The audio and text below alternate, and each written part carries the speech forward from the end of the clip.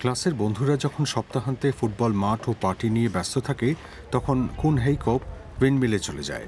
ষোলো বছরের এই কিশোর পড়াশোনার পাশাপাশি বেলজিয়াম সীমান্তের কাছে ডংখেন শহরে প্রায় একশো তিরিশ বছর পুরনো একটি মিলে হ্যাঙ্কে ডেমুটের কাছে মিলের কর্মী হিসেবে প্রশিক্ষণ নিচ্ছে।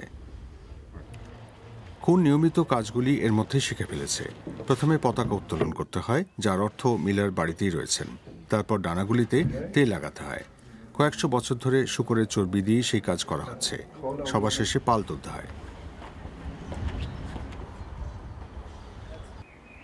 ক্লান্তিকর হলেও উইন্ডমিল নেদারল্যান্ডসের প্রতীক। গোটা দেশে প্রায় এক হাজার উইন্ডমিল রয়েছে। প্রায় প্রত্যেকটি চালু রয়েছে, তবে শুধু পর্যটকদের মনোরঞ্জনের জন্য নয়।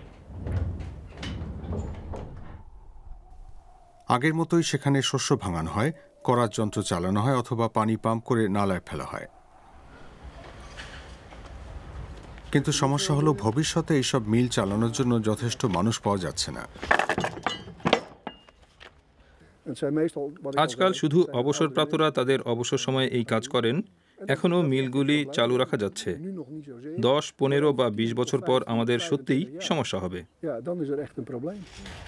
খোদ নেদারল্যান্ডসেরও অনেক মানুষ মনে করেন যে মিলগুলি শুধু লোক দেখানো আটা ময়দা তো সুপারমার্কেট থেকে আসে। কেউ বলেন, সেখানে তো ময়দা কেনা যায়, জানতামই না। কারও মতে, এটা সহজে পাওয়া গেলেও মিলের ময়দার স্বাদ হয়তো ভালো।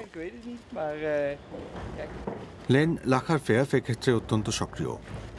ওয়েস্টারভিক শহরে তার মিল থেকে তিনি গোটা এলাকার বেকারিতে নানা ধরনের ময়দা সরবরাহ করেন। Dat noemen wij als molenaars dat de molensteen zingt. মিলের পাথর যখন গান গায় যেমনটা আমরা বলে থাকি এবং ময়দা যখন হালকা ও বালুর মতো হয় তখন বুঝি যে মান ভালো হয়েছে zanderig is, niet te zanderig, maar iets zandig, dan is de kwaliteit goed. পর্যটকরাও অবশ্যই চিরায়ত প্রক্রিয়া দেখতে পারেন যেমন স্পেন থেকে একদল পর্যটক সেটা দেখতে এসেছেন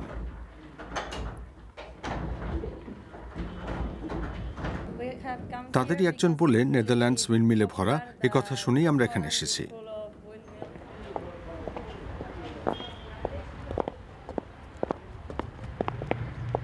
উইন্ডমিল ভবিষ্যতেও তার অস্তিত্ব টিকিয়ে রাখবে এ বিষয়ে কোনো সন্দেহ নেই।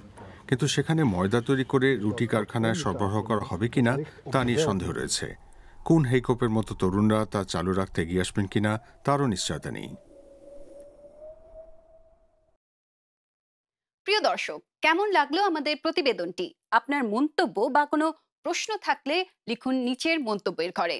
আর আমাদের সঙ্গে থাকতে সাবস্ক্রাইব বাটনটি চাপুন।